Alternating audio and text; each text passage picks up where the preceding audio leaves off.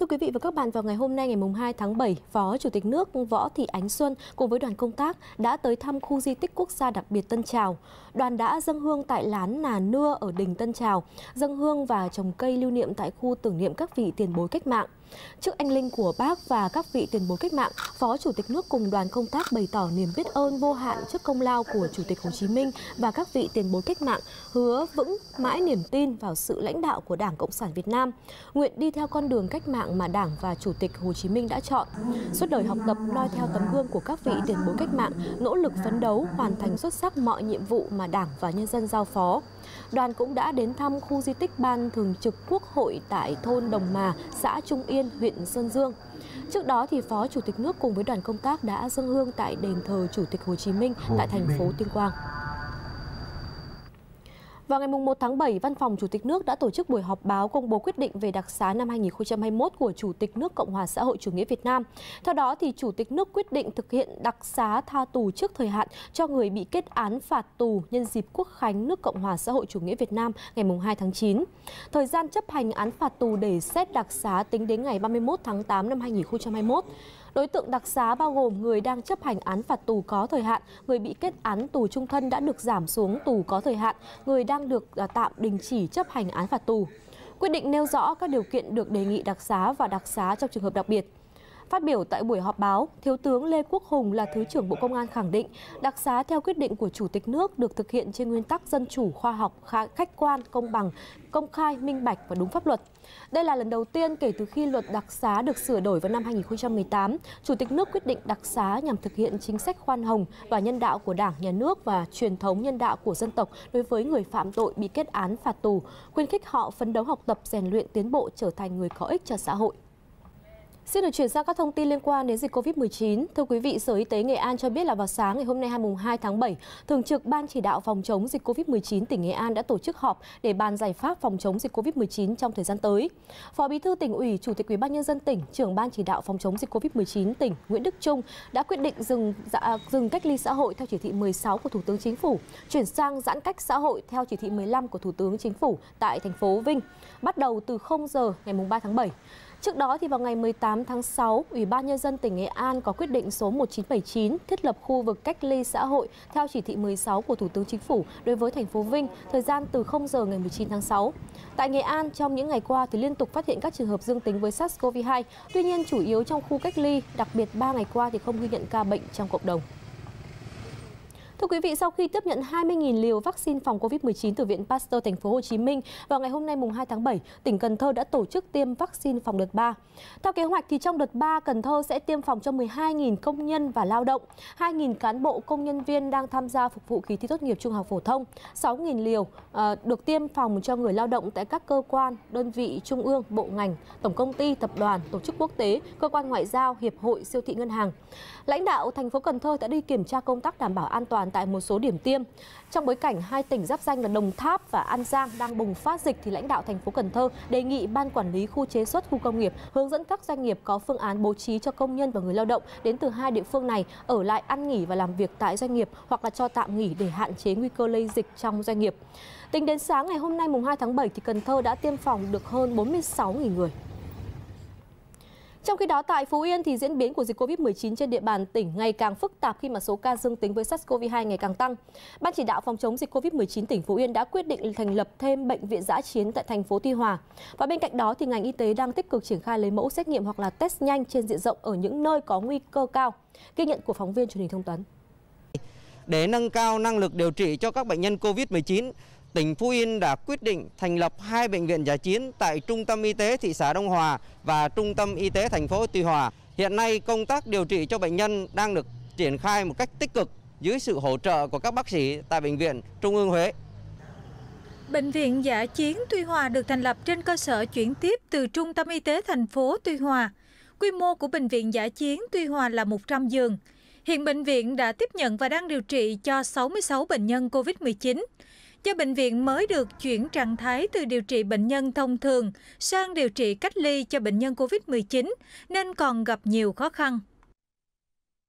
Từ chuyển trạng thái từ cái, cái bệnh viện mà điều trị qua cái bệnh viện mà điều trị bệnh nhân bình thông thường và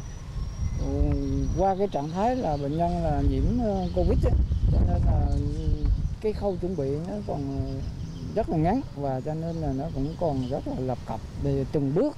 là khắc phục dần Cùng với công tác điều trị, tỉnh Phú Yên đang đẩy nhanh việc lấy mẫu xét nghiệm trên diện rộng, đặc biệt là đối với tiểu thương và những người ở vùng có nguy cơ cao lây nhiễm sẽ được test nhanh kháng nguyên SARS-CoV-2. Đây là nỗ lực lớn của tỉnh Phú Yên để sớm khoanh vùng dập dịch và khôi phục trở lại hoạt động của các chợ truyền thống. Thì chúng tôi thấy rằng là cái có mấy cái việc là phải làm. Một ấy là cái cái cái truy vết, công tác truy vết hết sức quan là quan trọng. Và cái thứ hai nữa là xét nghiệm. Cái tốc độ mà xét nghiệm sớm, nhanh được từng nào thì phục vụ cho công tác truy vết và khoanh vùng nhanh được giờ đó. Bởi vì cứ để chậm một giờ trong cái phép, ừ, xét nghiệm uh, phát hiện các ca dương tính mà để đi ở trong cộng đồng thì tức là cái cái cái, cái F1 và F2 nó sẽ tăng lên. Bộ Y tế đã cử các bác sĩ của Bệnh viện Trung ương Huế đến hỗ trợ điều trị bệnh nhân COVID-19 cho tỉnh Phú Yên. Viện Pasteur Nha Trang đã cử đoàn công tác gồm 8 người và thiết lập hệ thống phòng xét nghiệm giả chiến ngay tại CDC Phú Yên.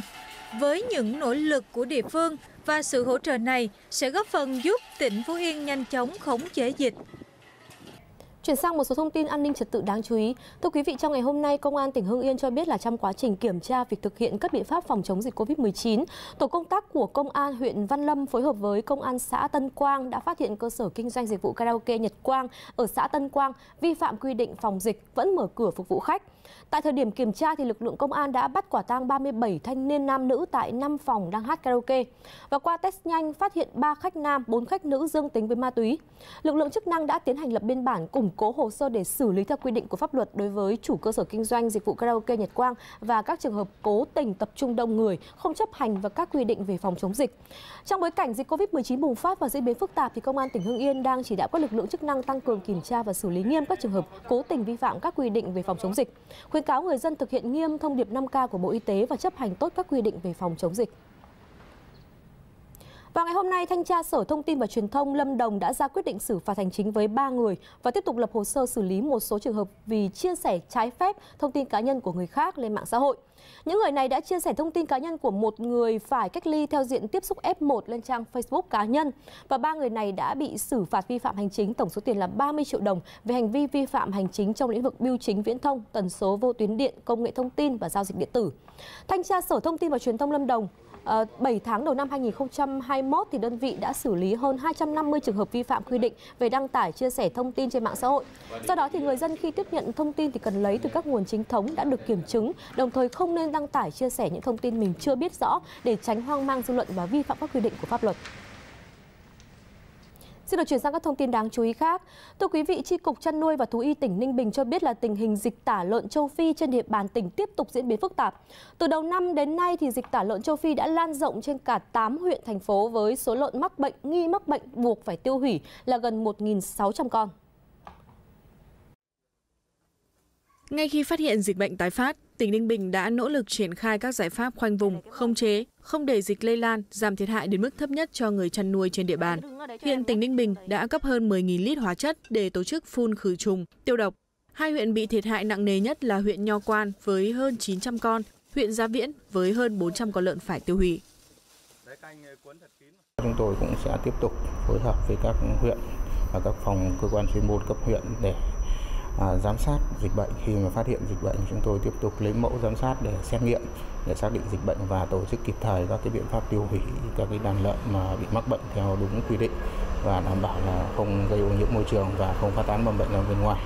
Thì bên cạnh đó thì cũng phối hợp với các địa phương tổ chức tăng cường cái công tác kiểm tra kiểm soát à, cái vận chuyển buôn bán lợn à, trên địa bàn tỉnh Ninh Bình và các sản phẩm từ lợn để hạn chế các cái mầm bệnh phát tán lây lan trên diện rộng và đặc biệt là tăng cường cái công tác bảo vệ các cái trang trại các cái công ty